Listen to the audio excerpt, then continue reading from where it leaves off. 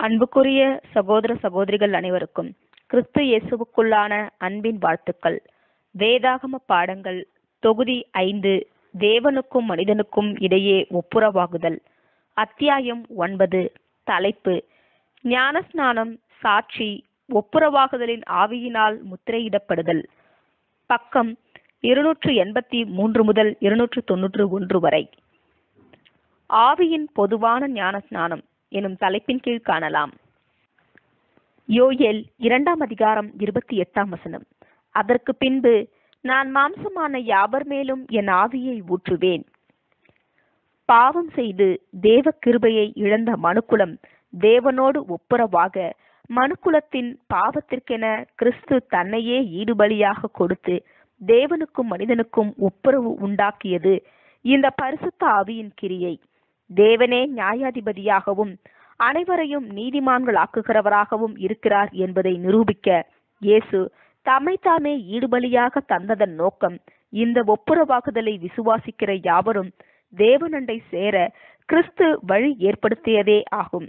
எனவே பிதாவண்டையில் வர விரும்புகிறவர்கள் கிறிஸ்துவின் மூலமாகத்தான் வர முடியும். பூமியில் இருக்கிற எல்லோருக்கும் சந்தர்ப்பம் கொடுத்து தேவனை பற்றி அறிகிற அறிவினையும் போதிக்கும் போது அதை ஏற்றுக்கொள்ளுகிற யாவரும் மீட்படைவர். இதனால் மகிமையடைந்த ஒப்புரவாகுதலின் மத்தியஸ்தராகிய கிறிஸ்து உலக மக்கள் ஒவ்வொருவரையும் தேவனுடைய திட்டத்துக்குட்பட்டவர்களாக தேவ பிள்ளையாகி தேவனோடு ஐக்கியப்படும்படி செய்கிறார். விழுந்து போன மனுக்குலம் தேவனோடு ஒப்புரவாகுவதற்கான வழிமுறைகளை இரண்டு பாகங்களாக பிரிக்கலாம். ஒன்று திருச்சபையாராக இந்த சுவிசேஷ யுகத்தில் உள்ள சிறுமந்தை. இரண்டு ஆயிர வருட அரசாட்சியில் எவ்வளவு பேர் மனப்பூர்வமாக தேவனுடைய திட்டத்தினை ஏற்று கீழ்ப்படிய மனதாயிருக்கிறார்களோ அத்தனை பேர்களும். தேவனோடு ஒப்புரவாகி உடன்படுவது என்பது பாவத்திற்கு விலகி மன்னிப்பை பெற்று தேவனோடு இசைவதாகும். பாவத்தை விட்டுவிட மனதில்லாதவர்கள் தேவனோடு இசைவாக என்றென்றும் இருக்க முடியாது. பாவத்தை விட்டுவிட்டவர்கள் தேவ நீதியின்படி கீழ்ப்படிபவர்களாய் தேவனோடு முழு இசைவாக இருப்பார்கள். பரமபிதாவின் சிந்தை நோக்கம் கருத்துப்படியே அவர்களுக்கு தேவையானவற்றை கிறிஸ்துவின் மூலம் பெற்றுக்கொள்ளுவார்கள். அவர்களுடைய மனம் புதிதாகிறதுனாலே அவர்கள் மறுரூபமாக்கப்பட்டிருப்பார்கள். வரப்போகிற ஆயிரம் வருட யுகத்திலே முழு மனுக்குலமும் தம்முடைய குமாரன் மூலமாக ஒப்புரவாகுவதற்கு தேவன் வைத்துள்ள சித்தமும் திட்டமும் இதுவே. இந்த சுவிசேஷ யுகத்திலே மனவாட்டிகள் கிறிஸ்துவினால் தேர்ந்தெடுக்கப்பட்ட பின்னரே அடுத்த யுகம் துவங்கும். இதுவே தேவனுடைய சித்தமும் திட்டமுமாகும். தேவனுடைய திருச்சட்டத்தின்படி எல்லாம் நிறைவேறி தீரும். அதிலிருந்து ஒரு சிறு புள்ளியாகிலும் மாறாது. பாவமும் அபூரண நிலையும் மன்னிக்கப்பட்டு அந்த மன்னிக்கப்படுதலே அவனுக்கு நீதியும் பூரணத்தன்மையுமாக ஒருபோதும் ஏற்றுக்கொள்ள முடியாது. ஆதாமின் மீறுதலினாலே அவனும் அவன் பின்னடியார்களும் விழுந்து போன நிலையிலிருந்து சீர்திருத்தப்பட்டு தேவசாயலை பெற்று முன்னிருந்த நிலைமைக்கு கொண்டு வருவது இயேசு கிறிஸ்துவின் கையில் ஒப்பு கொடுக்கப்பட்ட பணியாகும். இப்பிரபஞ்சத்தின் தேவனாகிய சாத்தான் எல்லாருடைய மனக்கண்களையும் குருடாக்கி அகில உலகினையும் தப்பறையின் கட்டுப்பாட்டுக்குள் வைத்திருந்தான். இந்த நிலைமையை முழுவதும் மாற்றி தப்பறை அறியாமை மூட நம்பிக்கையை போக்கி முழு மனுக்குலத்தினையும் தேவன் பக்கமாக திருப்பும் பணியின் ஒரு பகுதியாக சாத்தான் தள்ளப்படுவான். இரண்டு குருந்தியர் நான்காம் அதிகாரம் நான்காம் வசனம் வெளிப்படுத்தல் இருபதாம் அதிகாரம் இரண்டாம் வசனம். அதன் பின்னர் வஞ்சனை தப்பறை அறியாமை ஆகியவற்றிலிருந்து உலகம் விடுபட்டு நீதி சத்தியாவி அன்பு ஆகியவற்றின் கீழ் இருப்பார்கள். மனிதர்களிடமிருந்து கோபம் சுயநலம் வெறுப்பு கலக மனப்பான்மை ஆகிய குணங்களின் ஆதிக்கங்கள் வேரோடு ஒழிக்கப்பட்டு நீதியின் ஆவி நன்மை கிருபை அன்பு கருணை ஆகியவை அபிவிருத்தி அடையும். இப்படியாக தேவனுடைய பரிசுத்த ஆவி இயேசு கிறிஸ்துவின் மூலமாக முழு மனுக்குலத்திற்கும் மூன்று படிகளில் ஊற்றப்படும். முதலாவதாக அவர்களுடைய மனக்கண்களை பிரகாசமாக்குகிறார். இரண்டாவதாக அவர்கள் சுபாவத்தின்படி பெற்றிருக்கிற பலவீனங்களை ஜெயிக்க வல்லமை பலம் தந்து இன்னும் அவர்களுக்கு வேண்டியவற்றை தந்து உதவுகின்றார். மூன்றாவதாக ஆபரகாமின் கீழ்ப்படியாமையினால் இழந்து போன தேவ ரூபத்தினையும் தேவ சாயலையும் திரும்ப பெற்றுக்கொள்ளத்தக்கதாக போதித்து வழிநடத்துவார் இந்த உலகத்தின் வருங்காலம் மகிமை நிறைந்ததாகவும் சலுகை நிறைந்ததாகவும் இருக்கப் போகிறது. கடந்த காலங்களில் பட்ட கஷ்டங்களுக்கெல்லாம் மாறாக சொல்லி முடியாத பெரிய பேரின்பம் காத்திருக்கின்றது. கர்த்தரின் விரோதிகளுக்கும் பரிசுத்த ஆவியை பெற்றுக்கொள்ள மனதில்லாமல் கீழ்ப்படிய மறுப்பவர்களுக்கும் இத்தகைய நன்மைகளில் எதுவும் கிடைக்காது. மாம்சமான யாவர் மேலும் ஆவி ஊற்றப்படுகிறது. ஆனால் அதன் நன்மைகளை பெற்று அனுபவிப்பவர்களுக்கு மட்டுமே அது தேவைப்படும். இந்த சுவிசேஷ யுகத்தில் சத்தியாவியை பெற தங்களை அர்ப்பணித்து சத்தியத்தை புசித்து பரிசுத்த ஆவிக்கும் கீழ் வந்து ஆசிர்வதிக்கப்பட விரும்புகிற விசுவாசிகளுக்கு தேவைப்படுகிறது. எல்லா தீர்க்கதரிசிகளுக்கும் மேலான தீர்க்கதரிசியும் எல்லா ஜீவன்களுக்கும் ஜீவன் அளிப்பவரும் மெல்கிசதேக்கின் முறைமையின்படி ஆசாரியருமாகிய கிறிஸ்து அவரது சொல்லுக்கு கீழ்ப்படுகிற உலக ஜனங்கள் யாவரையும் ஆசீர்வாதத்தினால் நிரப்புவார். தலையாகிய கிறிஸ்துவும் சரீரமாகிய சபையும் ஒருங்கிணைந்து இப்பணியை நிறைவேற்றுவர். இவர்கள் கிறிஸ்துவுக்கு கீழ்ப்படுகிறதினால் நித்திய ஜீவனுக்குரிய நிரந்தர ஆசீர்வாதத்தை பெற்று சுகித்திருப்பார்கள். ஆனால் கிறிஸ்துவுக்கு கீழ்ப்படியாத அனைவரும் இரண்டாம் மரணத்தின் மூலமாக அழிக்கப்படுவர். அந்த தீர்க்கதரிசியின் சொற்கேளாதவன் எவனோ அவன் தன் ஜனத்தில் இராதபடிக்கு நிர்மூலமாக்கப்படுவான். அப்போஸ்தலர் மூன்றாம் அதிகாரம் இருபத்தி மூன்றாம் வசனம். யோயலின் தீர்க்க தரிசனம் முன்பின் எதிர்மாறாக நிறைவேறுவதாக காணப்படுகிறது. மாம்சமான யாவரும் ஆசீர்வதிக்கப்படுவது முதலாவதாகவும் சபை ஆசிர்வதிக்கப்படுவது கடைசியாகவும் கூறப்பட்டுள்ளது. கர்த்தருடைய சிந்தையிலிருந்த திட்டத்தின்படியே யாவும் ஒழுங்காக நடைபெறுகின்றன என்பதில் எவ்வளவும் சந்தேகம் இல்லை. மகா வாக்குத்தத்தத்தின் மகிமையான காரியங்கள் புரிந்து கொள்ள குறித்த காலம் வரும் வரை ரகசியமாக வைக்கப்பட்டுள்ளன. தானியேல் பனிரெண்டாம் அதிகாரம் ஒன்பது பத்து வசனங்கள்.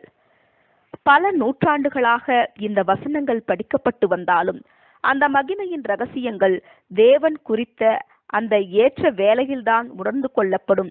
இந்த சுவிசேஷ யுகம் முழுவதுமாக அவர் தம்முடைய ஊழியக்காரர் ஊழியக்காரிகள் மேல் மட்டுமே தம்முடைய ஆவியை ஊற்றுகிறார்.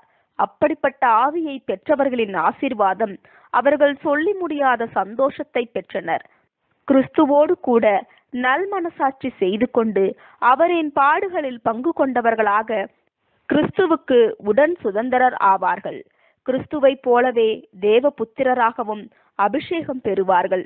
பெந்தகோஸ்தே நாளில் இவ்வித மகிமையை குறித்தே அப்போஸ்தலர் பேதுரு போதகம் பண்ணினார். தீர்க்க தரிசனத்தின் இரண்டு பகுதிகளை எடுத்து சொன்னார். பரிசுத்த ஆவியின் வல்லமையினாலே உரைக்கப்பட்ட இரண்டு தீர்க்க தரிசனங்களில் மாம்சமான யாவர் மேலும் பரிசுத்த ஆவி ஊற்றப்படும் என்பதை விளக்காமல் இரண்டாவது பகுதியை குறித்தே அதிகமாக விளக்குகிறார். ஏனெனில் அதை புரிந்து கொள்ளக்கூடிய ஏற்ற காலம் இன்னும் வரவில்லை.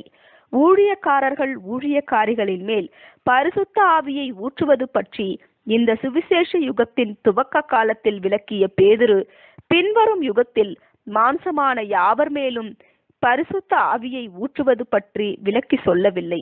பேதுரு தன்னோடும் தன் உடன் விசுவாசிகளோடும் பெற்றுக்கொண்ட ஆவியின் வரத்தினாலே யோயேலினால் முன்னுரைக்கப்பட்ட தீர்க்க தரிசனம் இப்போது நிறைவேறுகிறது என்கிறார். யோயேலினால் சொல்லப்பட்ட தீர்க்க தரிசனத்தின் ஒரு பகுதி பெந்தகொஸ்தே நாளில் நிறைவேறியது. மறுபகுதி இனிவரும் யுகத்தில் நிறைவேற்றப்படும். மாம்சமான யாவர் மேலும் ஆவி ஊற்றப்படாமல் இருப்பதோடு மேலும் சொல்லப்பட்ட காரியங்கள் இன்னும் நிறைவேறவில்லை. கர்த்தருடைய பெரிதும் பிரகாசமுமான நாள் வரும் முன்னே சூரியன் இருளாகவும் சந்திரன் ரத்தமுமாக மாறும் போன்ற காரியங்கள் நடைபெறக்கூடிய நாள் இப்போது சமீபமாக வந்திருக்கிறது. பெந்தகோஸ்தே நாளுக்கும் எல்லார் மேலும் பரிசுத்த ஆவி ஊற்றப்படுகிற நாளுக்கும் இடையே தேவனுடைய கோவாக்கினை நாள் குறுக்கிடுகிறது. இவைகளுக்கெல்லாம் பின்புதான் மாம்சமான யாவர் மேலும் பரிசுத்த ஆவி ஊற்றப்படும். நாம் ஏற்கனவே பார்த்தபடி சுவிசேஷ யுகத்தில் திருச்சபையார் பெற்றுக்கொண்ட தேவ ஆவிக்கும் வரப்போகிற அடுத்த யுகத்தில் அனைத்துலக மக்களும் பெற்றுக்கொள்ளப் போகிற தேவ ஆவிக்கும் வித்தியாசம் எதுவும் இல்லை. ஏனெனில் இதுவும் அதே சத்திய ஆவி நீதியின் ஆவி பரிசுத்த ஆவி பரிசுத்தமாக்கும் ஆவி தேவனோடு இசைவாயிருக்கும் ஆவி நன்மைக்கும் சத்தியத்திற்கும் நீதிக்கும் இசைவாக ஜனங்களை நடத்துகிற ஆவி ஆகும். அல்லாமலும் சுவிசேஷ காலத்தின் ஆவியை பெற்று ஜீவித்ததற்கும் பிற்காலத்தில் ஆவியை பெற்று ஜீவிப்பதற்கும் ஒரே மாதிரியான காரியமாய் இராது. இப்பொழுது தேவனுடைய ஆவியை பெற்றுக்கொண்டு இவ்வுலகில் வாழும்போது உலக ஆவியாகிய பொல்லாத ஆவியோடு ஏராளமான இடங்களில் போராட்டங்கள் ஏற்படும். இப்போது ஆவியை பெற்றுக்கொண்டவர்கள் தேவனோடு தேவ ஆவிக்கு இசைவாக நடக்க முயற்சி செய்யும் போது இத்தகைய ஆவியை பெறாதவர்களிடமிருந்து திரளானவர்களின் எதிர்ப்பும் வீண் பழிகளும் ஏற்படும் என்று இதனால் தீர்க்கமாக இந்த உபதேசம் கொடுக்கப்படுகிறது. பின்வரும் யுகத்தில் தேவ ஆவியை பெற்றவர்கள் மேல் வீண் பழி சுமத்துகிறவர்கள் இருக்க மாட்டார்கள். தற்போது இருக்கும் உலகத்தை காட்டிலும் வரப்போகிற யுகத்தில் இருக்கும் ஒழுங்கு ஆட்சி பரிபாலனம் அதிகாரம் ஆகியவைகள் முற்றிலும் மாறுபட்டவையாக இருக்கும். ஏனெனில் இந்த உலகத்தின் அதிபதியாக சாத்தான் இருக்கிறான். வரப்போகிற யுகத்தின் அதிபதியாக இயேசு கிறிஸ்து இருப்பார். இந்த யுகத்தில் பெரும்பான்மையான மக்கள் விருப்பப்பட்டோ அல்லது விருப்பப்படாமலோ அல்லது தெரிந்தோ தெரியாமலோ சாத்தானுக்கு உட்பட்டிருக்கிறார்கள். வரப்போகிற யுகத்தில் இயேசு கிறிஸ்துவின் நீதியின் ராஜ்யத்திற்குள்ளாக முழு மனுக்குலமும் கீழ்ப்படிந்திருக்கும். அப்போது சத்தியம் இலவசமாக சிறியவர் முதல் பெரியவர்கள் வரை போதிக்கப்படும்.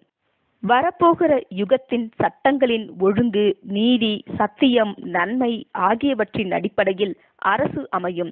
தேவராஜ்யத்தில் தேவனுடைய சட்ட ஒழுங்கின்படி கீழ்ப்படிந்து நடக்கிறவர்களிடத்தில் சத்திய ஆவி வாசமாயிருப்பதால் எவரும் வீண்பழி சொல்ல அவர்களை அவமானப்படுத்த முடியாது. மாறாக எந்த அளவுக்கு தேவ ஆவியை பெற்றுக்கொள்ளுகிறோமோ அந்த அளவுக்கு கிருபையும் ஆசீர்வாதமும் கிடைக்கும்.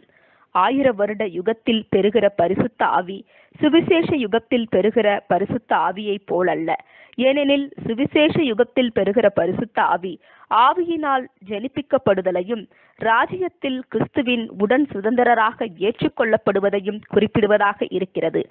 அந்த வாக்குத்தத்தம் இந்த சுவிசேஷ யுகத்தில் பரிசுத்த ஆவியை பெற்று நீதி நிமித்தமாக இந்த பொல்லாத உலகத்தில் உபத்திரவப்படுகிற ஊழியக்காரர்களுக்கும் ஊழியக்காரிகளுக்கும் உரியதாகும். ஆகையால் அவர்கள் ஆவியின் மகிமையினாலும் தேவ மகிமையினாலும் முடிசூட்டப்படுவார்கள். ஒன்று பேதுரு நான்காம் அதிகாரம் பதினான்காம் வசனம். ஆயிர வருட அரசாட்சியின் போது பரிசுத்த ஆவியின் நிலைப்பாடானது அதை பெற்றுக்கொண்டவர்கள் மத்தியஸ்தராகிய கிறிஸ்துவுடன் இசைந்திருப்பார்கள் என்று முக்கியப்படுத்தி காட்டுகிறது. கிறிஸ்துவுடன் இசைந்திருப்பதால் இவர்கள் தேவனோடு ஒப்புரவாகி பொதுவாக மனுக்குலம் முழுவதற்கும் தேவன் ஏற்பாடு செய்துள்ள ஆசீர்வாதங்களை பெற்றுக்கொள்ளுவார்கள். இந்த ஆசீர்வாதங்கள் ஆவிக்குரிய சுபாவ மாற்றத்தை ஏற்படுத்தாது. ஆனால் பூமிக்குரிய பரிபூரண சுபாவத்திற்கு மாற்றப்படுவார்கள். ஆதாமினால் இழந்து போன பூரண நிலைமைகளையெல்லாம் மீண்டும் பெறுவார்கள். அப்போ சிலர் மூன்றாம் அதிகாரம் பத்தொன்பது முதல் இருபத்தி ஓரு வசனங்கள். ஆதாமினால் இழந்து போன பூரணத்துவம். இரண்டாம் ஆதாமாகிய இயேசு கிறிஸ்துவின் மாபெரும் பாவ நிவாரண பலியினாலே ஒப்புரவாக்கப்பட்டு முந்தின சீரை பெற்று பரிபூரண மனித நிலைமைக்கு கொண்டு வருவதே பரிசுத்த ஆவியின் நிலைப்பாடு ஆகும். இறுதியாக சர்வ மனுக்குலமும் பிதாவாகிய தேவனுடைய சாயலை பெற்று பரிபூரண மனிதர்களாய் இருப்பார்கள். தனது சுய பலியினாலே சர்வ உலக மக்களையும் கிறிஸ்து ஆயிர வருட அரசாட்சியிலே புதுப்பித்து புது வாழ்வுக்கான ஆசீர்வாதங்களை பெற்றுத்தருவார் என்பதை நாம் நினைவில் கொள்ள வேண்டும். மரண தீர்ப்பை சுதந்திரித்துக் கொண்ட மனிதனாகிய ஆதாமுக்கு ஈடுபலி செலுத்த இயேசு கிறிஸ்து மனிதனாக பூமிக்கு வந்தார். பூரண மனிதன் இழந்ததை ஒரு பூரண மனிதனே ஈடு செய்ய முடியும். பாவங்களுக்காக கிறிஸ்துவின் நிவாரண பலியின் மூலம் ஆதாமும் அவன் சந்ததியும் விலை கிரயத்துக்கு கொண்டதால் மனிதனாகிய ஆதாம் இழந்த உரிமைகள் சலுகைகள் ஆளுகைகள் ஆகியவைகளை திரும்ப பெற்றுக்கொள்ளும் போது ஆதாம் பூரண மனித நிலைமையிலேயே இருப்பான். அவன் சந்ததியும் புனர்வாழ்வு பெறும்போது அவைகள் முன்பிருந்த நிலைமையையே திரும்ப பெறும். இரண்டாம் ஆதாமாக முழு உலகத்தையும் கிரயத்திற்கு கொண்டு புதுவாழ்வு அளித்ததால் முழு மனுக்குலத்திற்கு கிறிஸ்து தகப்பனாகிறார். எபேசியர் ஒன்றாம் அதிகாரம் பதினான்காம் வசனம். அப்போஸ்தலர் மூன்றாம் அதிகாரம் பத்தொன்பது முதல் இருபத்தி மூன்று வசனங்கள். மாம்சத்தில் இயேசு கிறிஸ்து இரண்டாம் ஆதாமாக இருக்கவில்லை. உயிர்த்தெழுந்த பின்னரே ஆவியின் நிலையில் இயேசு கிறிஸ்து இரண்டாம் ஆதாம் ஆகிறார். எனவே இரண்டாம் ஆதாம் ஆவிக்குரிய நிலையில் இருப்பதால் அவருடைய சந்ததியும் ஆவிக்குரிய நிலையில் இருக்க வேண்டும் என்று பொருள்படாது. மனுக்குலத்திற்கு இயேசு இரண்டாவது தந்தையாகிறார் என்றாலும் கூட அவர் சகலருக்கும் ஜீவன் அளிக்கிறார் என்ற பொருளிலே அல்லாமல் அவர் சகலரையும் பெற்றெடுக்கவில்லை. உதாரணமாக ஆதாம் சிருஷ்டிக்கப்பட்ட போது தேவகுமாரன் என்று அழைக்கப்பட்டான். ஆனால் தேவன் அவனை பெற்றெடுக்கவில்லை சிருஷ்டித்தார். தேவன் ஆவியின் ஜீவியாயிருக்கிறார். தேவன் ஆதாமை சிருஷ்டித்ததால் அவனை ஆவியின் ஜீவி என்று சொல்லக்கூடாது. அவன் மண்ணிலிருந்து எடுக்கப்பட்டதால் அவன் மனித சுபாவம் உள்ளவன். தேவன் எல்லோருக்கும் தம்முடைய பிரதிநிதியாகிய நமது கர்த்தராகிய இயேசு கிறிஸ்துவின் மூலமாக ஜீவன் அளிப்பதால் அவர் தந்தை எனப்படுகிறார். அவர் தந்தை என்பதால் அவர் எல்லோரையும் பெற்றெடுத்தார் என சொல்லக்கூடாது. இந்த செய்திகளை நாம் ஏற்கனவே மாசில்லாதவர் என்ற தலைப்பின் கீழ் உள்ள அதிகாரத்தில் விளக்கி இருக்கிறோம் யாரும் தவறாக புரிந்து கொள்ளக்கூடாது என்பதற்காக இதை இங்கே கொடுத்திருக்கிறோம். மனிதனையும் அவனை அவன் ஆண்டு கொள்ள வேண்டிய மிருகங்கள் பறவைகள் ஆகியவைகளின் குடியிருப்பாகிய பூமியையும் சிருஷ்டிக்கும் போது கீழ்ப்படியாமையினால் வீழ்ச்சியுறுவான் என்பதை அறிந்திருந்த தேவன் தமது நோக்கத்தை மாற்றிக்கொள்ளவில்லை. அவர் பூர்வத்தில் செய்த ஏற்பாட்டில் எந்த மாற்றமும் செய்யவில்லை. பூர்வத்திலே தேவன் தான் போட்ட திட்டத்தை கெட்ட எண்ணத்துடன் சாத்தான் கவிழ்த்து போட்டாலும் தம்முடைய திட்டத்தின்படியே கொஞ்சமும் மாறாமல் தமது குமாரன் மூலமாக முழுமையாக நிறைவேற்றுவார். சுவிசேஷ யுக திருச்சபையார் கிறிஸ்துவுக்கு மனவாட்டியாக உடன் சுதந்திரராக உன்னதத்திற்கு உயர்த்தப்பட்டு மகிமைப்படுத்தப்படுவார்கள். இந்த விசேஷ கூட்டத்தாரை தவிர மற்ற எல்லோரும் முந்தின சீருக்கு கொண்டு வரப்பட்ட புதிய பூமியிலே ஆசீர்வாதமாய் இருப்பார்கள். திருச்சபையாராகும் விசேஷ அழைப்பை பெற்றவர்களோ அழைக்கப்பட்டு தெரிந்து கொள்ளப்பட்டு பலவித சோதனைகளுக்கும் உட்படுத்தப்பட்டு பரம அழைப்பின் பந்தய பொருளுக்கு தகுதியுள்ளவர்களாக தயார் செய்த பின் கிறிஸ்துவுக்கு உடன் சுதந்திரராக மனித சுபாவத்திற்கு மேலாக ஆவிக்குரிய தூதர் சுபாவத்திற்கு மேலாக கர்த்தத்துவங்கள் துரைத்தனங்கள் அதிகாரங்கள் ஆகியவற்றிற்கு மேலாக தெய்வீக சுபாவத்தை பெறுவார்கள். ஆவியின் ஸ்தானம் என்றதொரு புது ஸ்தானத்திற்காக ஜெபிக்க வேண்டியதில்லை. நமது ஊழியத்தை திருப்திகரமாக செய்து முடிக்க தேவ வழிநடத்துதலுக்காக தேவ ஆவிக்காக ஜெபிக்க வேண்டும். இதனைத் தொடர்ந்து வரும் பரிசுத்த ஆவிக்காக ஜெபித்தல் எனும் தலைப்பின் கீழ் வரும் பகுதிகளை பக்கம் இருநூற்று தொன்னூற்று ஒன்று முதல் அடுத்த பாகத்தில் காணலாம்.